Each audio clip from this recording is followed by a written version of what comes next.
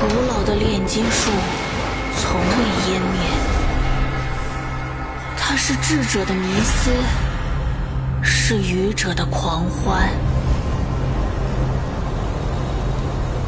愚者们从废土中攫取虚假的财富，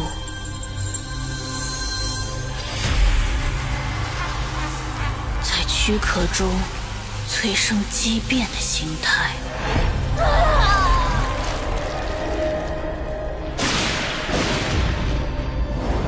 这些狂妄虚浮的技法，亵渎着炼金术的名号，却忘了精准的调和搭配艺术的重塑，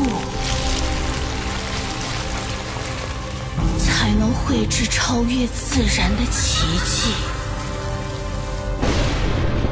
然而，这扭曲自然的代价，又有谁能承受？